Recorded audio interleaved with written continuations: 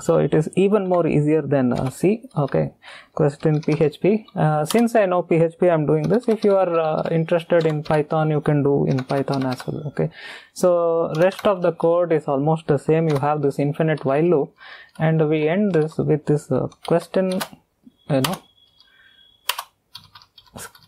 angle bracket so you can see there this is all the code is actually. There's nothing to change and the php is more more or less it looks similar to you know c code. Okay so let me just indent this. Okay. And uh, we can uh, you know test it out. Okay so what we do is we can just do this and we don't need to compile because it's a scripting language. Okay so php minus f dot slash led dot php php so hopefully it should work. See you can uh, see there it is blinking once again.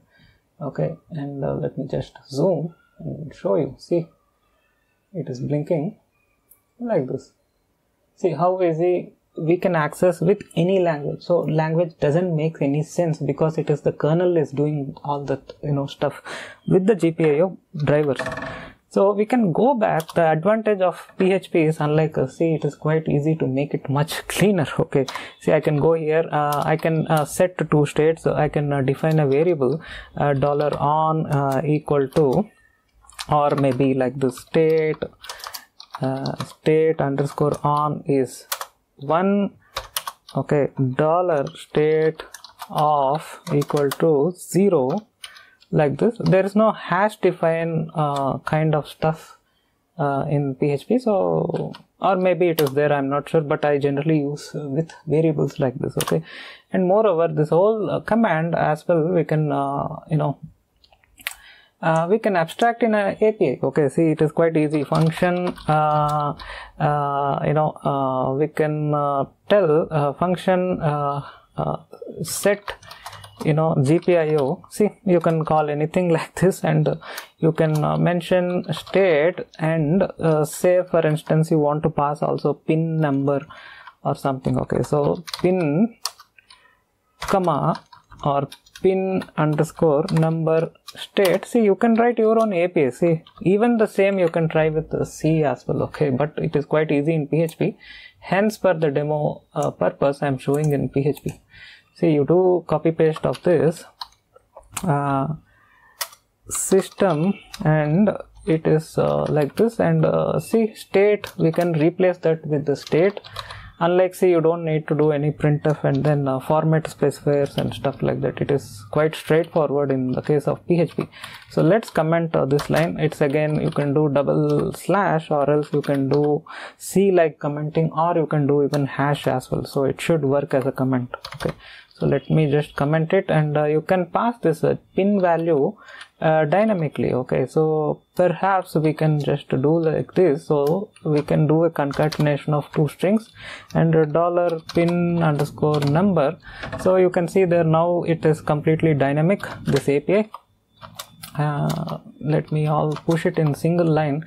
Usually i like in this coding you know standard so which is uh, my way of doing things. So let's just do this. Uh, let's just delete this and uh, let's set this via in you know decent looking api okay? So we go here set underscore gpio and then we need pin is pin number 11 and then we can set the state is state underscore on. Of course you can mention as a 0 1 here as well but uh, you know it looks much you know cleaner uh, when you write a code like that okay? You can also mention here uh, set uh, uh, GPIO 11 state off okay? See you can do this way see the point is not about learning php code. The point is how quickly you can port it to a different language. Okay so although you may never have done php but i'm just giving an example. So we can run once again and we can see whether it works. Okay.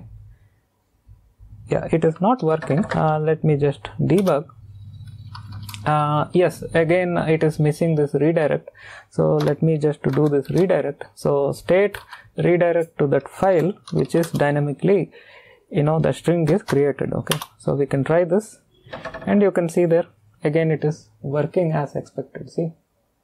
Hope you can see there okay so this is the advantage you get when you access uh, you know a sort of you know raw level access and uh, when you understand how the actual uh, drivers and the kernel level things work okay so whatever you do in any language it doesn't matter. It's the kernel. It, it's what it matters.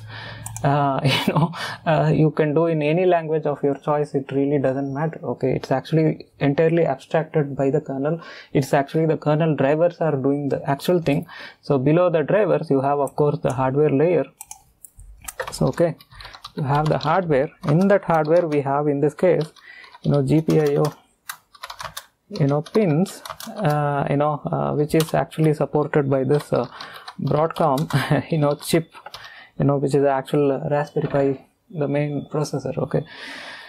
Uh, chip or you know soc in pi. So to conclude this video is for any budding uh, kernel developer. If you want to become a kernel uh, programmer uh, this is a way you should start learning things okay? This is the thing. It shows a proof that kernel does the thing and it is all abstracted no matter which language you use. Uh, some will quarrel c++ is better than c some will say c is better than c.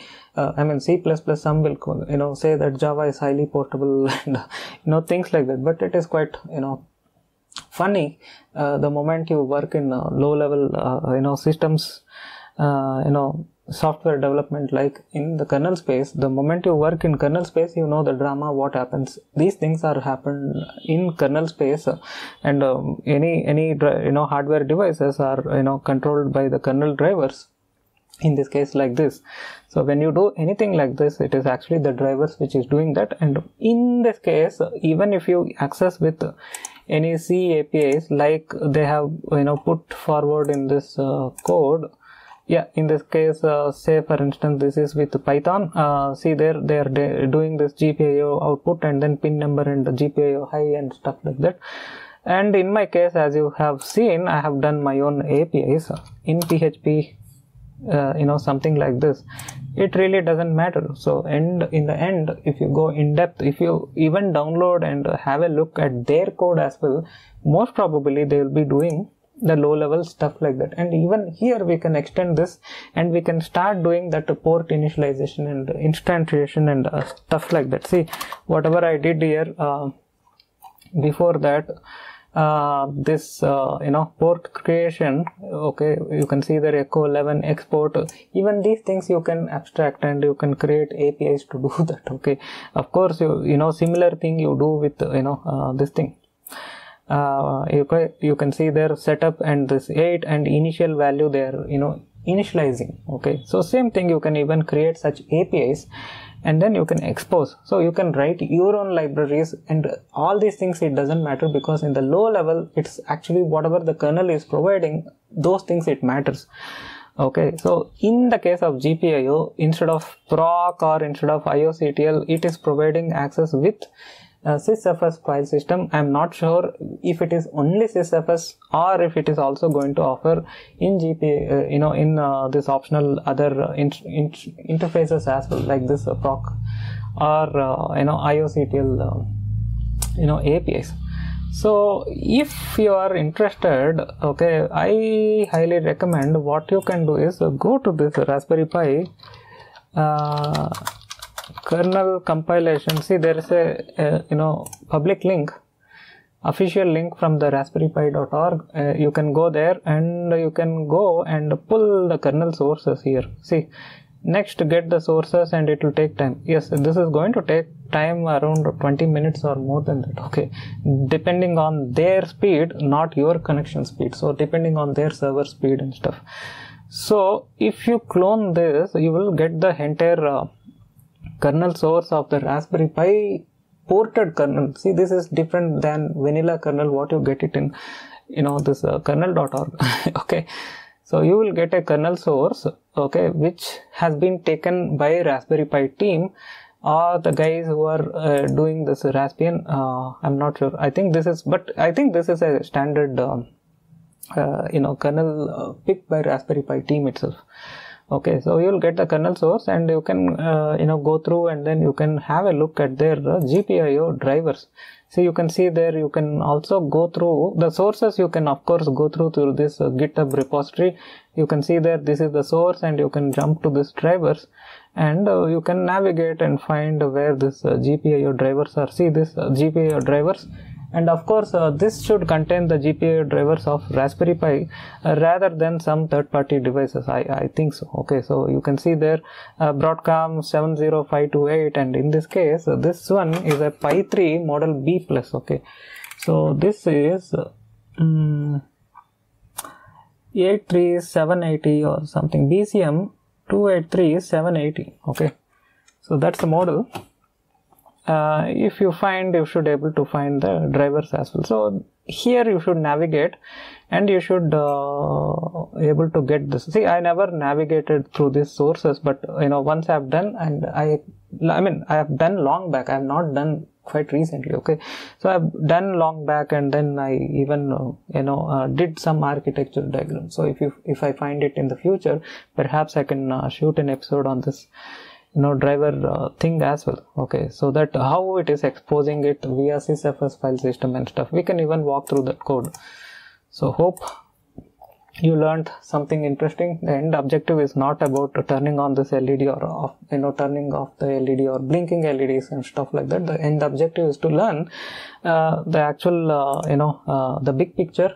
Uh, this is what happens no matter whichever things you do in systems uh, when it uh, has an i mean when it comes to a system which has an operating system the reason i'm saying this is i do have recently many students who are uh, from ec or triple background but they are working on uh, operating systems and uh, you know things like that or else low level embedded system development and uh, OS porting and uh, you know kernel optimization and stuff like that. But unfortunately, they never been exposed to the operating system in the past, and they never have any much clue about how, what an operating system is.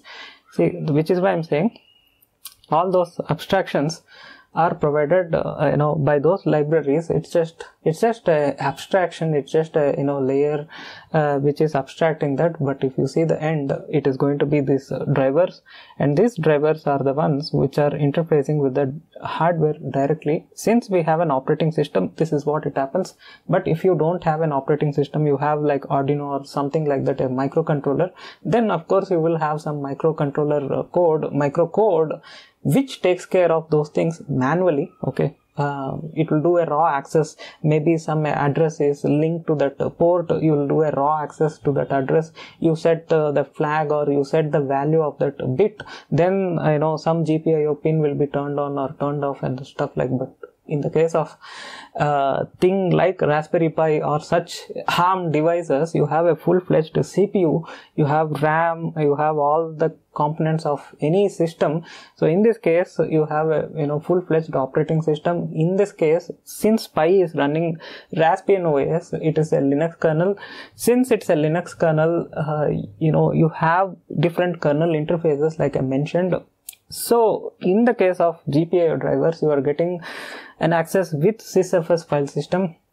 To learn about the file systems, you can uh, of course go through my uh, episodes uh, which I did in the past. You can also go through links like this, uh, you know, Wikipedia stuff and this uh, mainly this architecture.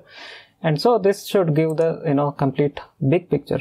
So hope you enjoyed the show. If you have anything to discuss, uh, be in touch via mail or post your queries in YouTube comments. Thanks a lot for joining me. Stay tuned. Have a nice day. 拜拜。